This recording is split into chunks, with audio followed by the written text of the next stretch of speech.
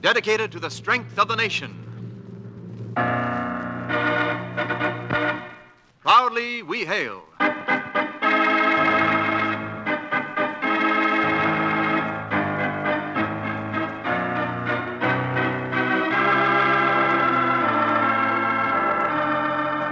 Yes, Proudly We Hail, starring George Dolenz in Journey to Bethany, United States Army and United States Air Force presentation. And now here is our producer, the well known Hollywood showman, C.P. MacGregor. Thank you, thank you, and greetings from Hollywood, ladies and gentlemen. Welcome to your Theater of Stars, where the outstanding personalities of stage and screen join us in plays we know you'll enjoy. Our star is George Dolenz, who makes his radio debut before our microphone. The title of our dramatic story is Journey to Bethany. We'll have the curtain for Act One in just a moment, but first, here is your announcer with an important message. Choose the career that offers all five. The U.S. Army offers you these five keys to a successful future. One, the right job for you. Two, continuous training in your job. Three, four, lifetime security. Five, travel and recreation. Yes, men, choose the career that offers all five. Find out about the five keys to a successful future at your nearest Army and Air Force recruiting station. And now, once again, our producer. The curtain rises on Act One of The Journey to Bethany, starring George Dolenz as Aram Gain.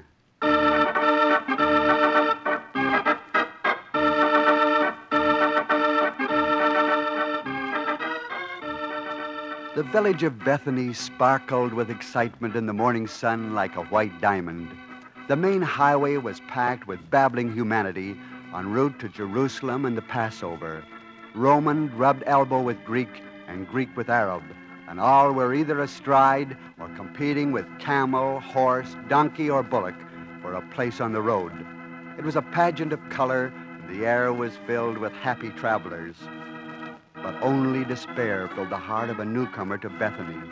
Off on a quiet street, very much to himself, he closed the door of his room to the court where he had received lodging and began to write a letter on scroll and parchment. My dear Mary Magdalena, I am here in Bethany, and I am waiting the return of this man Jesus you speak of. I must confess I am at my wits' end. The trip from Damascus was long and taxing. I've had time to think of the beginning of this, of what happened in the dark yesterday. A visitor came to me in Alexandria while I was posing for the sculpture for a bronze plaque of my likeness. May we interrupt the artist a moment, Aram? You have a visitor. Who, Joseph? The merchant from Denbera. By name, Shad. Ah, that tiny ant. I remember well when you were grateful to trade with Shad. But he's nothing. He has traveled a long distance. Hmm, so he has. Uh, all right. Tell the artist they may have ten minutes. Yes, Aram. Shad, you may come in now. Thank you. Well, Aram, it is kind of you to see me. How are you, Shad? Be seated, won't you? I thank you. Well, how is the merchant prince of all Alexandria? you honor me. I merely speak the truth. Certainly, a man is famous when he sits to have his likeness etched upon metal plaques and his portrait painted at the same time. A small honor the queen bestowed. Ah, but they will be purchased at a price. Oh, I suppose so. What do you think of the likeness? Excellent likeness, Aram. Mhm. Uh, that chin is unmistakable. Only, Only what? why, it isn't the likeness. It is you, Aram. You have changed. Hmm, Am I uh, older to you? No, not that. Oh, it is unimportant. Men do change. They do. I only arrived yesterday, Aram. How does Alexandria look to you? Ah, it has not changed since my dear wife and I spent a fortnight here when we were first married. I suppose you'll be glad to get home. Ah, yes. I am homesick for my family. You miss your wife? My wife is dead. Hmm. Forgive me. Oh, now, you had no way of knowing. Yes, she left me nearly three years ago. But I still have her in my family. I see her every day in them. Uh, but, uh, Aram, I, I come to you for counsel. Whatever you wish. Aram, tell me, uh, what of the cashmere wool? Cashmere? Yes, uh, what of the market? The rumor along the Emporium is that no caravans will be coming through this year because of the strife in the East. Ah, yes. I've heard that rumor. But uh, do you give it credence? Were I to buy cashmere now, Aram, uh, would I be safe? Uh, the prices are so high. You will be safe, Shad. You're wise to buy now. I can tell you that with confidence. And you have my permission to give similar advice to your merchants' acquaintances of Denbara. Uh, again, I, I thank you. You are a generous man. But more than that, a friend. Well, uh, I go now, Aram. Good day, and the Lord bless you. Yes, Joseph? I couldn't help hearing you, Aram. The advice that you gave to Shad of Dembera. I want to speak to you about that. What a stroke of fortune. Having the men call upon me. You consider it a stroke of fortune? Indeed, I do.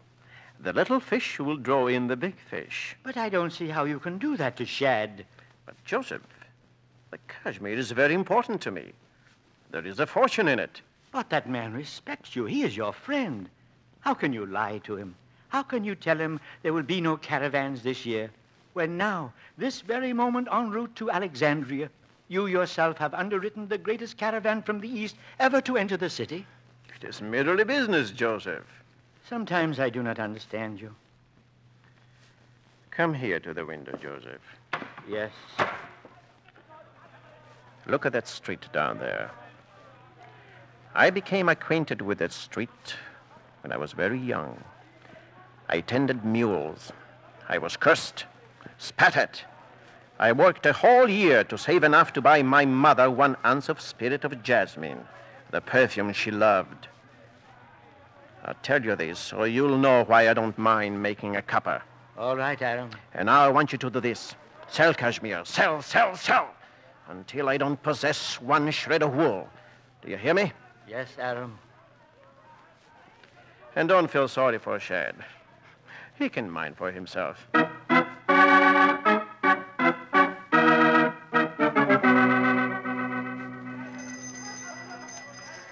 Look, Joseph. Do you see what I see? It is your caravan. Thank the Lord, it has arrived. And now, you have just come from the Emporium. What is it happening? What could happen? The bottom has fallen off. cashmere has dropped nearly two thirds. Two thirds. That's more than I expected. Yes, Aram. You have made your killing. Twice over you have. What do you mean, twice over? Your trusting friend, Shad. He just fell dead on the floor of the Emporium.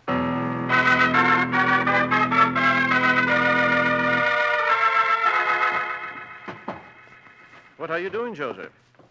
I'm getting things together, Aram. I'm leaving your employ. Come, come now, Joseph. Is it because of this Shad business? I do not care to discuss it, Aram, other than to say that you no longer have a friend in Alexandria. oh, Joseph, Shad was an old man. An old man, don't you understand? Get out of my way. But, Joseph, I, I can make restitution. Yes, Aram. But what can you do for a dead man?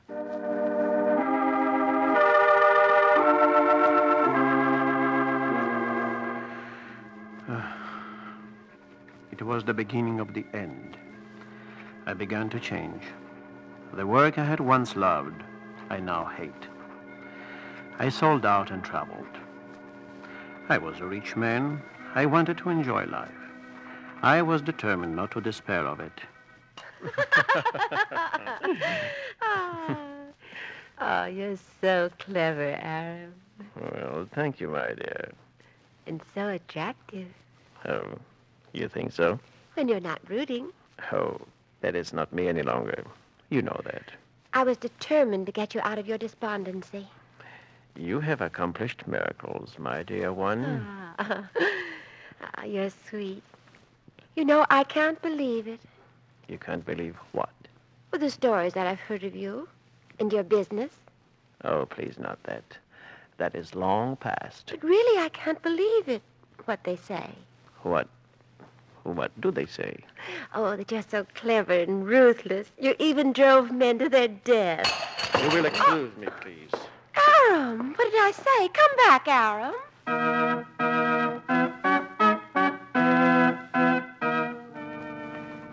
You will remember, Mary, that was what brought me out on the streets of Damascus, where I met you that morning, a man without a soul.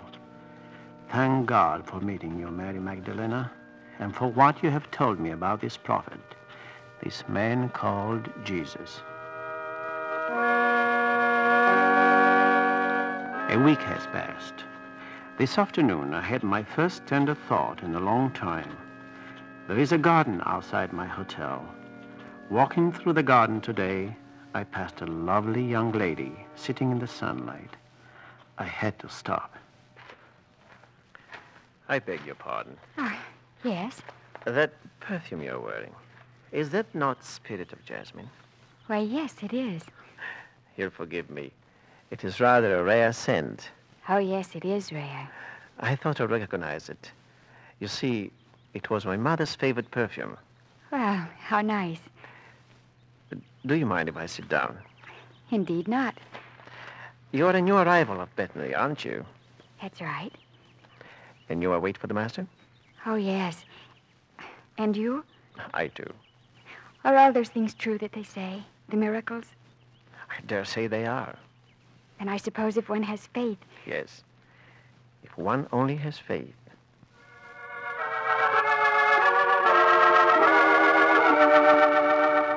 Oh, she was so lovely, Mary. And each afternoon she would come out into the garden for an hour of sunshine. I find myself beginning to live for that hour each day. And I almost suspected that she was too. Well, aren't you going to say hello? Oh, oh, it's you. I've been standing here completely unnoticed. I'm sorry. You'll forgive me. If you will dine with me tonight, I'm afraid I can't. well, I'll keep trying. May I sit down? Of course. Thank you. You seem very cheerful. When I sit with you, I must confess I'm most cheerful. That song, Yes? it's like the perfume was to you. It's very dear to me. Oh, why? Well, my father, on a trip to Alexandria, came home singing it. Oh? Well, your father's with you now? No, no, he passed away some time ago. Oh, I'm sorry. You know, I've been talking to you these past days. We have come to be close friends, and here I don't even know your name. I'm Naira, the daughter of Shad of Denbera. The daughter of Shad, you say? Yes. And you? My name is uh, John. John of Bethany, I suppose one could say now. I'm glad to know you, John. I hope you will always say that.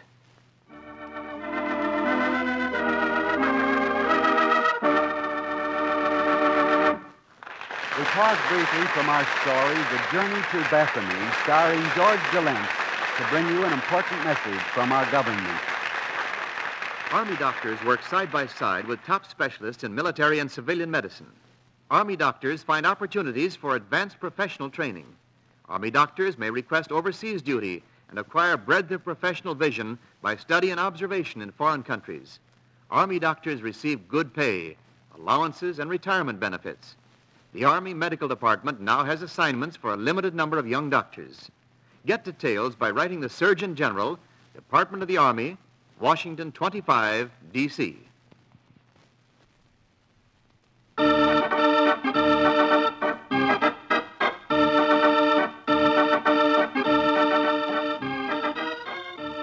the curtain rises on Act Two of The Journey to Bethany, starring George Dolenz as Aram Gain. The sick, the needy, the broken in heart and soul continue to gather in Bethany, awaiting the arrival of Jesus of Nazareth. And in Bethany, following his dramatic discovery that the beautiful girl he had met and fallen in love with is the daughter of Shad of Denbira, Aram Gain continues writing his letter to Mary Magdalene. You don't blame me, do you, Mary, for introducing myself as John of Bethany? She's so fine, so lovely. And I knew if she found out, she would hate me. So I changed my place of dwelling and used my new name. One afternoon, I went over to the garden where Naira and I usually met. Naira wasn't there, but Ruth, her companion, was. Well, hello. Ruth, and how are you today? I'm fine. Where is Naira? She wasn't feeling too well. She's staying in her room. Oh, I'm sorry. You know, I think if Naira would get more exercise, if she would walk with me, perhaps. She's trying to save her strength for the walk to the prophet. Of course. Oh, poor dear. She's had her share. I uh, sensed that. She lost her father very unexpectedly. Yes? He was a small merchant. He'd gone to Alexandria, plunged heavily for him in the cashmere market, on the advice of a reputed friend whom they used to call the merchant prince of Alexandria, a despicable man by the name of Aram Gain. Yes, yes.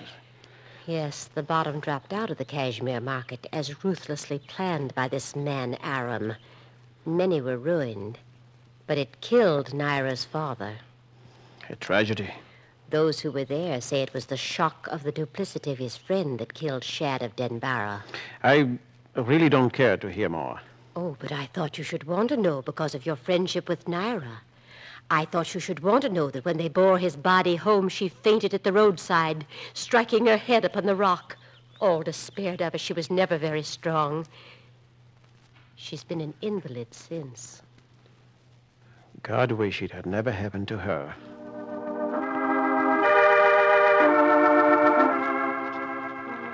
Oh, Mary, to know that I had hurt Naira, that I had made her suffer. And now I think Ruth knows my real identity. Would she tell Naira? I stayed away from the garden one long, agonizing day, even though I could see Naira there. But the next day, I had to go to her. Hello, Naira. Ah, well, John, it's you. Yes, Naira. Where have you been? I missed you yesterday. Oh, Naira. Say that again. I missed you. That's so nice to hear. Tell me, how are you feeling? Oh, I'm much better. Feeling stronger? Oh, yes, much. Strong enough for a stroll with me? Well, uh, no, no, John, not yet. One of these days, perhaps, huh? My, those flowers are lovely. Her flowers have beautiful colors, don't they? These match your dress so well. Oh? Say, but what are they doing in the garden? All these statues and the decorations? Ruth says the owner of the inn brought them out yesterday. They are nice, aren't they? Indeed. Oh, but tell me, are there still many gathering to await the master? Yes, the multitudes gather. And where will the prophet be? They say in a small olive grove on the edge of town. Oh, You and I shall walk up there together. Well, no, I, I don't think so. And why not? Well, it's a long trip. I'm not sure I shall even attempt it. Oh, but I have a strong arm. Maybe days, even weeks, before I have strength to attempt the walk. I may have to wait a future visit of the master. Then I will wait too, Naira. Oh, no, please. But I would.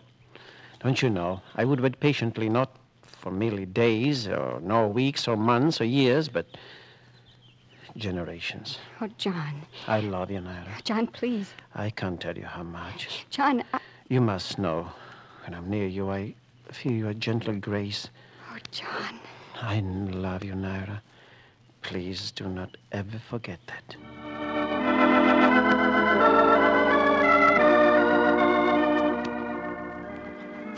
Ah, Mary, I tell you, you have no idea how grateful I was that my fears about Ruth were unfounded. And I was grateful for Naira. Naira loved me. As John of Bethany, she loved me. I was sure of it. Now I kneeled down to voice my gratitude in prayers. As you had told me, it was the next morning that I was up and dressed when.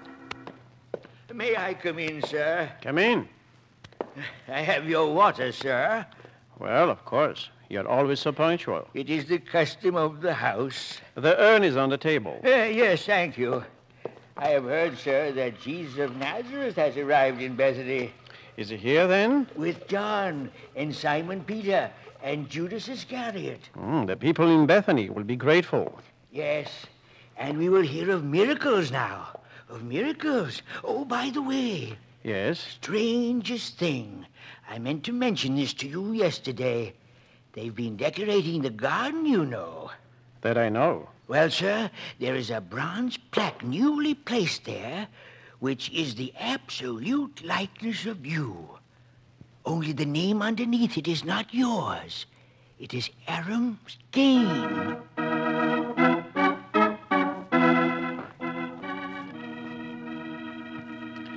I rushed to the window.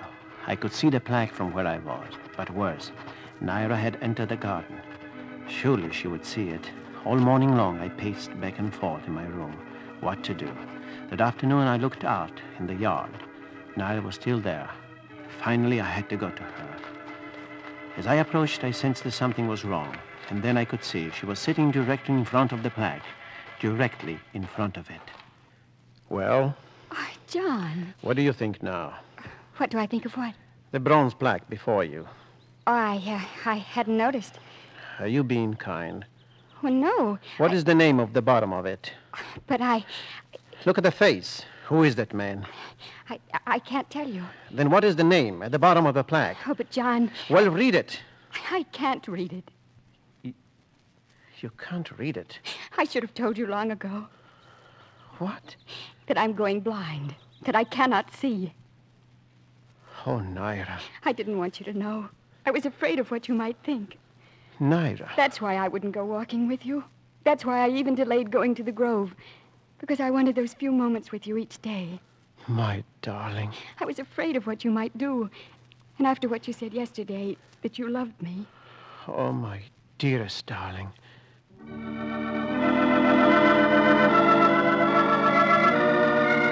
And so I close my narrative to you, Mary Magdalena, in appreciation for your advice, counsel, and friendship. You will be interested to know that Ruth knew who I was from the beginning, but for some reason kept her silence. Yes, Mary, Aram Gain is dead for good, and Naira will have her eyes. At worst, she will see through my eyes. At best. And so our journey to Bethany is already a success, and we have yet to see the Master. We are leaving to walk there now. Again, in gratitude, your humble servant. Ready, Naira?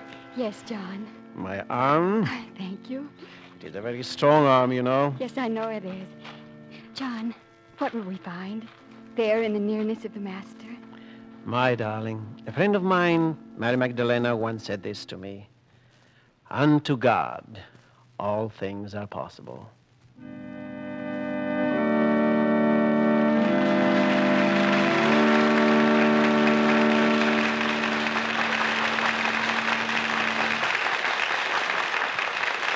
The curtain falls on the final act of the journey to Bethany. Our star, George Dolenz, will return for a curtain call after this timely message from Wendell Niles. Choose the career that offers all five. The U.S. Army offers you these five keys to a successful future. One, the right job for you. Scientific aptitude tests determine the right job for you. Two, continuous training in your job. Specialized training and educational courses prepare you for advancement in your field. Three, planned advancement. Under the Army's advancement plan, your skill and efficiency will assure periodic promotions. Four, lifetime security. You, as an Army man, are guaranteed regular pay and liberal retirement benefits. In sickness, your medical care is provided without cost, and your regular pay continues. Five, travel and recreation. In the Army, you will enjoy the finest recreational facilities and opportunities for worldwide travel. And remember, you have 30 days vacation with pay each year. Yes, choose the career that offers all five. Get full details at your nearest Army and Air Force recruiting station. Now, once again, our star and our producer. George, I want to welcome you to our theater on your first appearance with us. Thank you, CP. And confidentially, this is my first appearance in radio, too. Well, good. I'm sure our audience would like to hear something about your life and your new picture at RKO. Well, about my life, I was born in Gorizia. Our house was half in Italy and uh, half in Yugoslavia. What did that make you? Well, our kitchen was in Italy. And since you spent most of your time in the kitchen, that made you an Italian, eh? That's right. Until I became an American citizen. Say, I've been hearing some great things about this new picture you made for Howard Hughes at RKO. It is called Vendetta. You know, vendetta, tremenda vendetta. That's the story about the Corsican blood feud, isn't Uh, it? yes, it is. It took place right after the Napoleonic War. And uh, who co-stars with you? Faith Dumergue. She plays the part of my sister. This is her first picture, isn't it? Yes, and she is excellent. I will certainly be on the lookout for it. When will it be released? Oh, in about two months. You know, I'd like to go back into your exciting life, George, but our play has been long and we haven't the time. I'd like to tell about your experiences in the Italian army prior to the last war and how you got into motion pictures, but we'll have to save all that until later.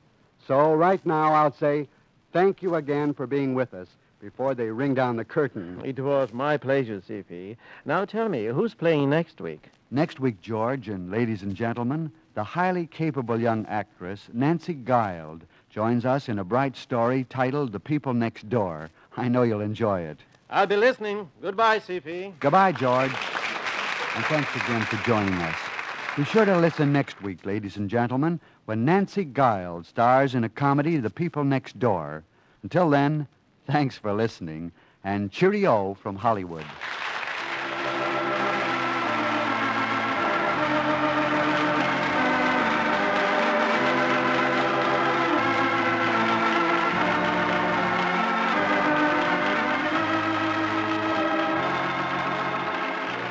George Dolenz appeared through the courtesy of the Hollywood Coordinating Committee, which arranges for the appearance of all stars in this program. Script was by Rich Hall, with the music of Eddie Dunstetter. This program is transcribed in Hollywood for release at this time. Wendell Niles speaking.